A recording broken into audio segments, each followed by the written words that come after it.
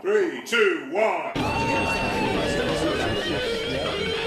glad to in Los Angeles right now as an art maker, as an artist.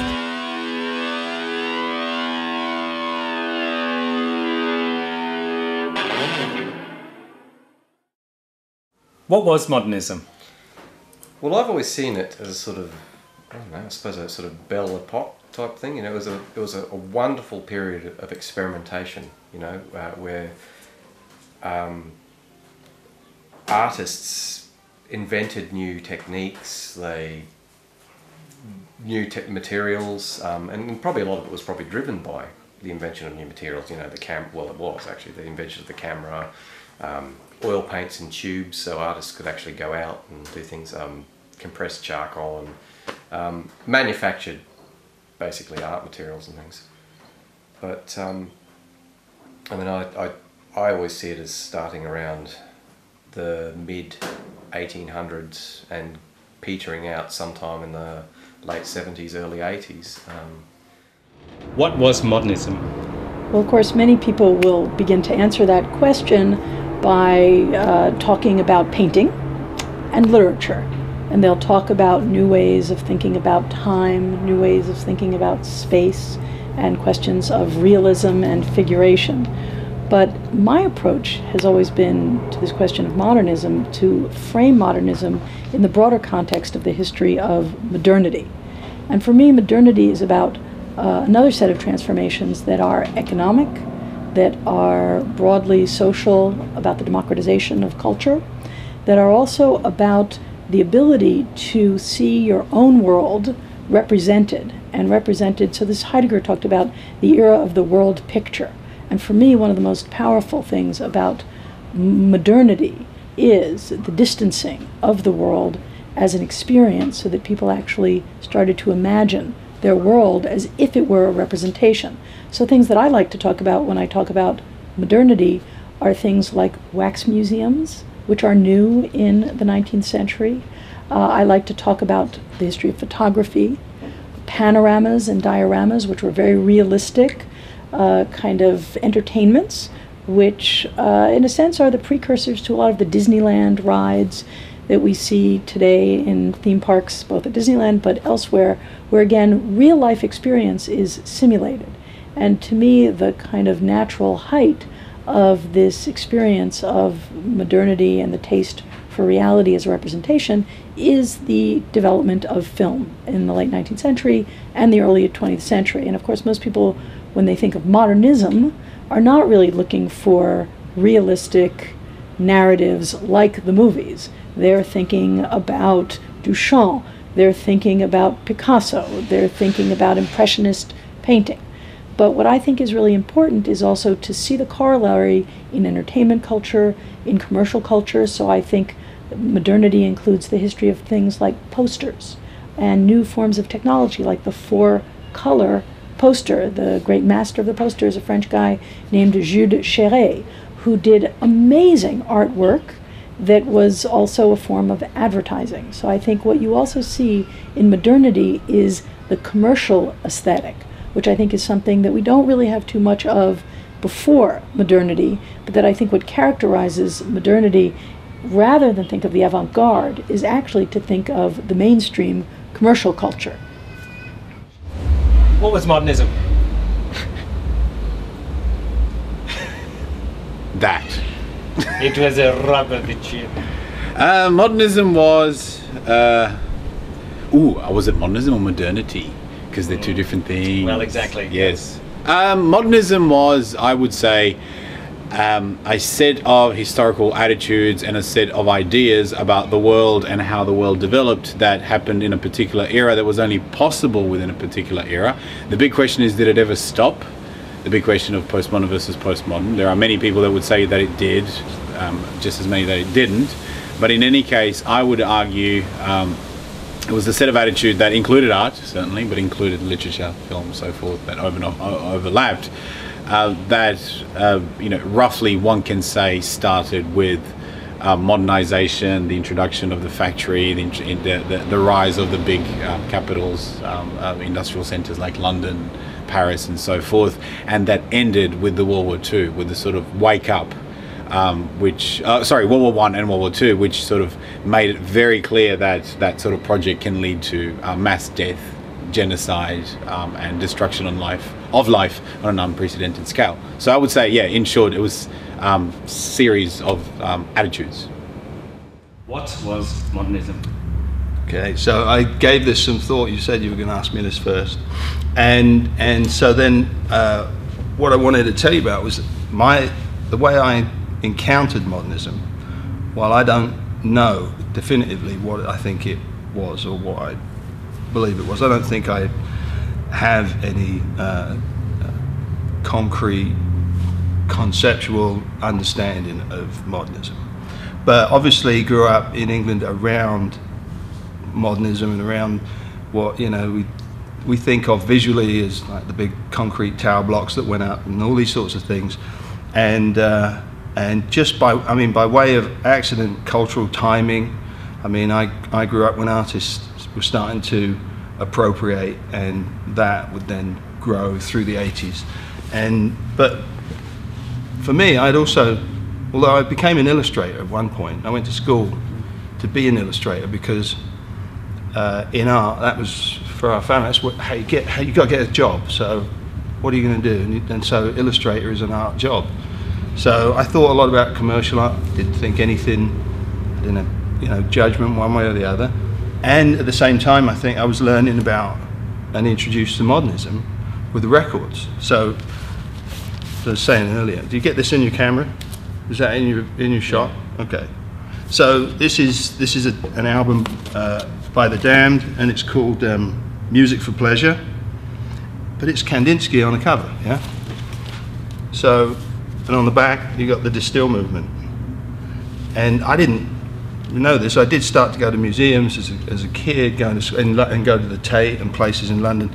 Uh, the, uh, you know that I would see the works and and maybe I can't remember which way around it was. Did I see the Kandinsky first, or did I see the Damned record first? And Yeah. and and references to pop, and you know even sort of 50s record covers. And this this was a particular designer that I used to collect his records. And the original imprint of this, had a, and there's a lot of humour in this stuff too. Yeah. I mean, that's an irreverent repro- approach to go and take Kandinsky and turn it into a punk record album cover, you know. But it also kind of, I mean, that that talks about that's a demonstration how, like, for as a little kid back then, this is you know that's a that's a sizable piece of art. So What was modernism and what's the impact on your work, if mm. any? Okay, I, I don't really think um, it's possible to make work without having a relationship to modernism. Um, too many of the central uh, approaches, uh, the, the ways that we even think about what it means to be an artist, are tied up with that, whether we like it or not. I think that there's there's aspects of how we think about what art should do and uh, what it might be that uh, it's not that they linger; they've never gone away. Um, For me personally, um, although the angles and the facets that are on my paintings they don't refer to cubism, um, I'm a huge fan of cubism um, because it changes the nature of how we think of what art does. It doesn't show us a picture; it shows us a way of thinking about something. and I think that's that's a, a crucial turning moment, which has led to the developments in uh, later modernism, and certainly uh, impacts and, and, and uh, uh, influences what we see being made by anyone, anywhere, all the time. I don't think there's a way out of that. Um, the only things that one can do if if we talk about aspects of postmodernism um, is critique some of the, the fundamentals um, and approaches of modernism. But I'm not. But you're still involved with modernism. What was modernism? Okay, Kit. Um, so, modernism, as I understand it, in my very basic understanding, would be it was a sort of response to society around this time. Um, you know, with things like industry moving forward, um, huge changes in architecture. Um, our world was changing quite rapidly, and it was sort of our response to this.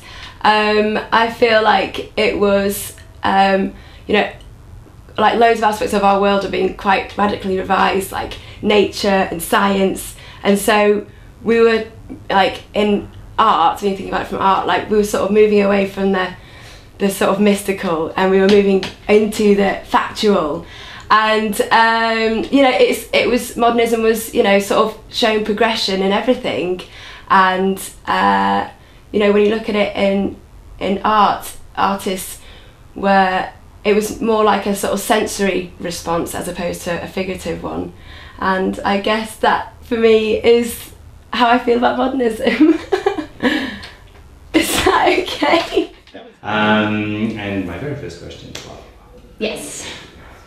You ready? Okay. You good? I think I've got an answer. We'll find out. Okay. What was modernism? um, I like what was modernism. Mm. That's interesting.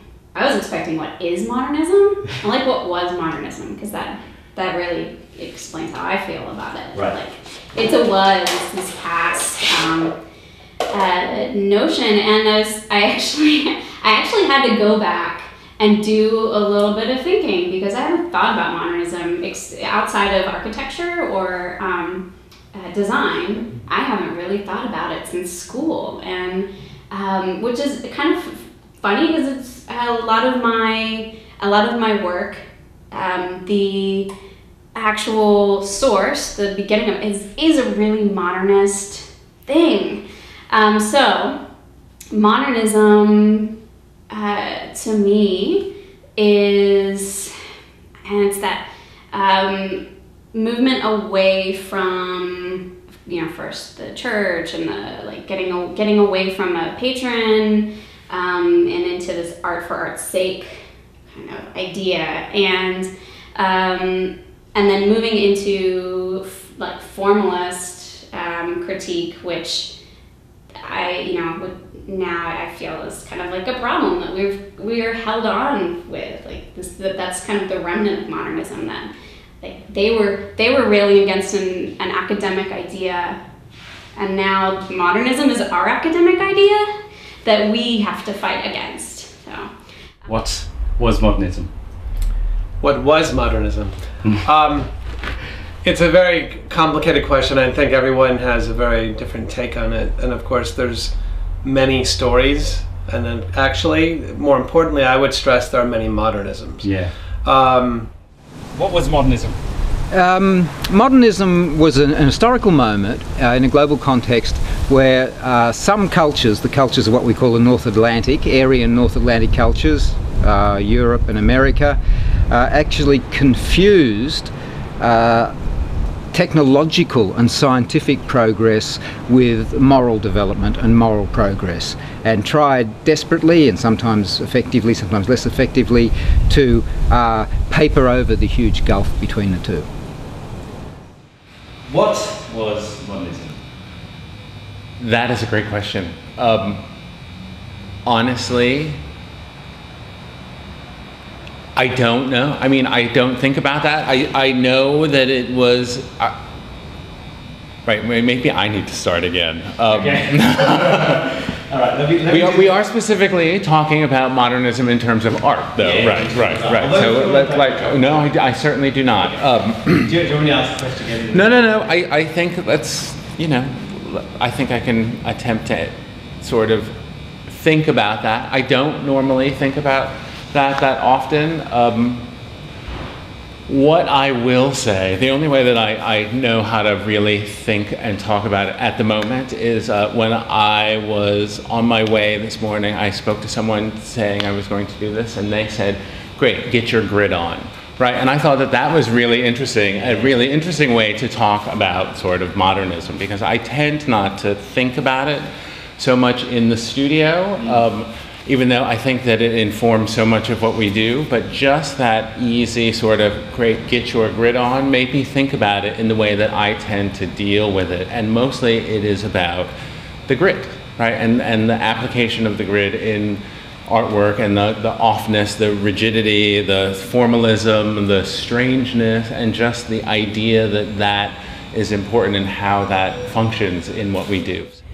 What was modernism? Who would have known you're going to ask that? right.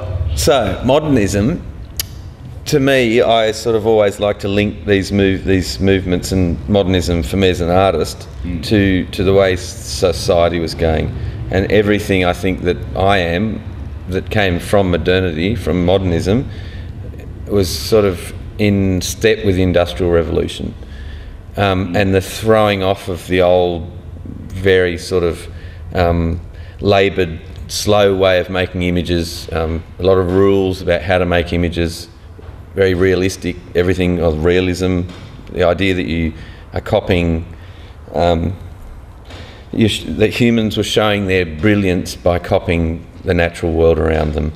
And then the Industrial Revolution came along and they discovered what iron ore could do, what they could smelt, what they could uh, mould, how quickly they could use technology to create cameras that, that got rid of the need for all of that stuff. And modernism became more about uh, a way of defining what it is to be a human and not as a, not, not as a, a mirror for the natural world. Does that make any sense at all? That's great. That's perfect. is it right? Is it right, Kit? What was modernism? And what does it mean to you? Well, that's way too simple a question for a very, very broad term.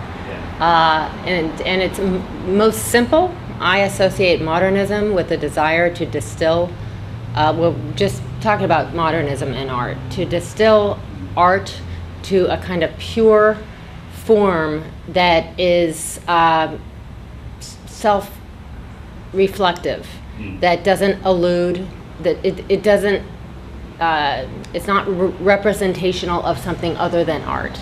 Uh, that I would say that that's that's my most broad understanding. If I was going to try to get to, to a nutshell Yeah. of what modernism is, there are so many offshoots um, that we still think of as as as uh, say movements within modernism that that stray pretty far from that that precept.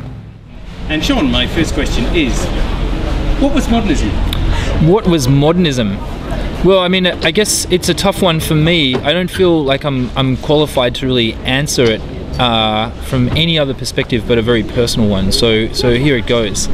I guess I guess technically it's a response to modernity on a number of levels. You know, from like these creative pursuits. So uh, I was always interested in how human beings, um, up to this point where society becomes so kind of accelerated and complex, respond creatively in whatever way through through the arts and um, you know um, different kinds of activity. But I, I was I was always thinking that you know it was um this challenge for artists to deal with the modern world, say um, in that industrial era or post-industrial now, um, and with the the kind of challenges that we have with technology, because for for for this this period of modernism, you know, it's almost like the world uh, is happening faster than our senses can kind of process it, and art takes on this role where we're really having to kind of question that immediate environment um, through practice. So it's a it's a pretty exciting phase. Um, of course, modernity is a bigger question. I don't know when that's going to technically start